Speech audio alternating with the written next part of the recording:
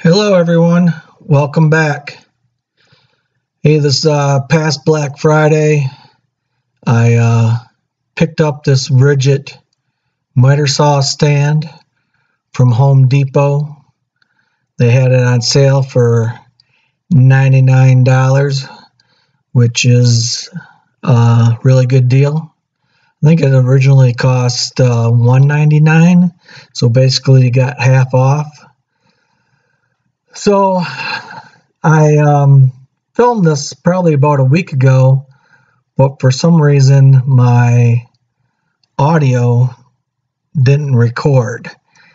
So we're going to try and do it this way.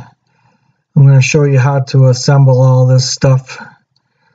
Um, I wasn't sure how much assembly was going to be required until I got the box open, but evidently there's quite a bit. So first we're going to go ahead and put the wheels on. You're to there's three separate uh,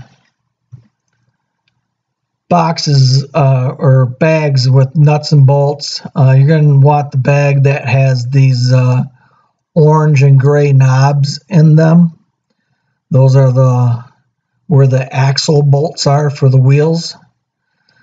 So go ahead and take those knobs out, set those aside. You won't need those until later. So you're going to grab the axle nuts and bolts. And of course you're going to need the wheels. Uh, the wheels go on one way and it's pretty obvious which way they go on. Uh, on the outside of the wheel it says Ridgid, so obviously you're going to want that part facing outward.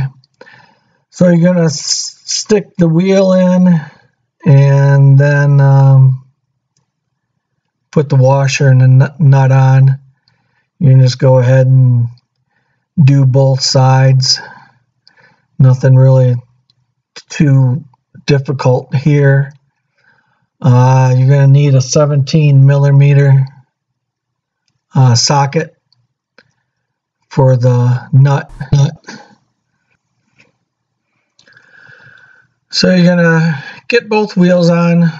Obviously the other side is installed the same way. You take the, they're calling it an axle bolt and uh, put it through the tire and then put it through the stand itself and put the washer on and then the nut and then just go ahead and tighten all those up with the 17 millimeter socket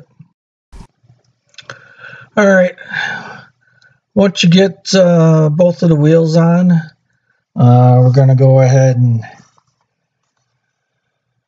put the frame, it's called the frame support. So you're going to put that on. Obviously, it goes in the, there's um, the tubes that are down by the wheels. It goes, slides into the tube. And on the bottom of this, it's the, the part is called the sh shoe. So you're going to put the shoe on and the bolts that you use are the ones with the wing nut on them and uh, I initially put it down through the top but what you want to do is bring it up through the bottom so you're going to put the shoe on the bottom and then bring the bolt up through the bottom through the holes and then put the wing nut on. So this is why I'm doing this video so you don't have to make the mistakes that I did.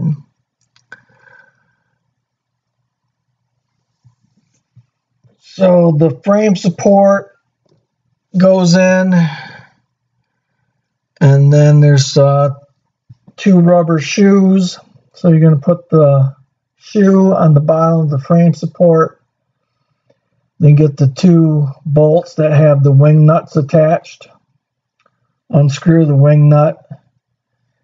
and then feed the bolt through the shoe, through the tube, and then through the frame support and you're going to screw all them down. And then after that's finished, you're going to go to the handle. The handle is put on with the the screws that have the I'm I'm going to call it a bell shaped nut where it's not a regular nut where the bolt would go all, you know, the nut would be able to screw all the way through. So you just go ahead and put the handle on, um, line up the holes, and then go ahead and feed the bolt through. And then uh, tighten the bell nut onto the handle.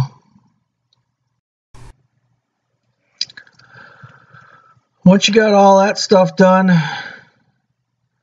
uh, you're going to take uh, the two uh, leftover bolts that were in the same package as uh, those orange and gray knobs. Uh, there's two U brackets on the underneath. You're gonna raise it up here and you're gonna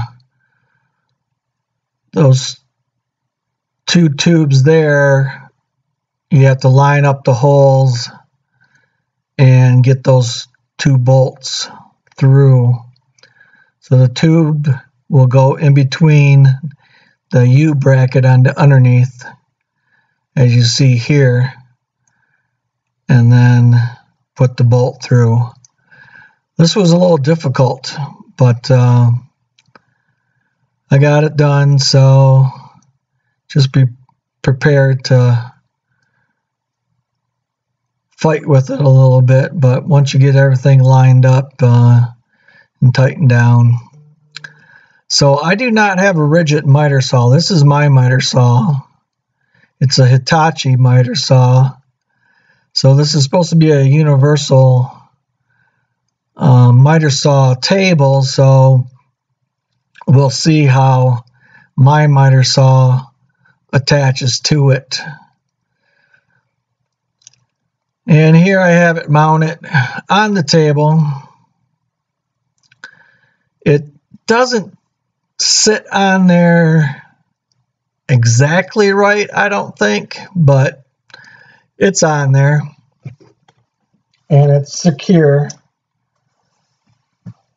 So you got all your uh, uh, the work stop and the work support arm and all that stuff. And that's where those orange and gray knobs come from.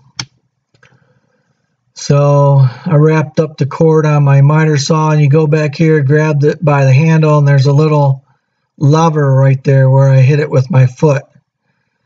And you can go ahead and collapse the table. Uh, it snaps down and then it uh, you can wheel it pretty much anywhere you want to go. And it moves really easy on those 12 inch wheels. You get to where you want to go you hit the little lever, releasing it, and there you go.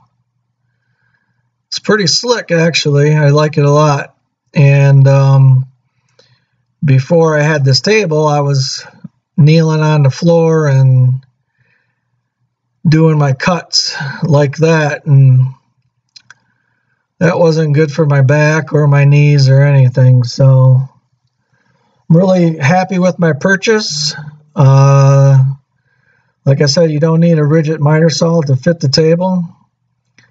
Everything uh, fit pretty good, so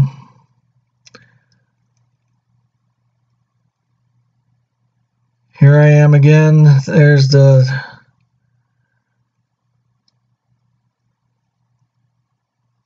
the way that this mounts on the saw, the quick release, uh, the bolts feed up through the bottom. Uh, put the bolt in and then feed it through your miter saw and then put your washer and your nut on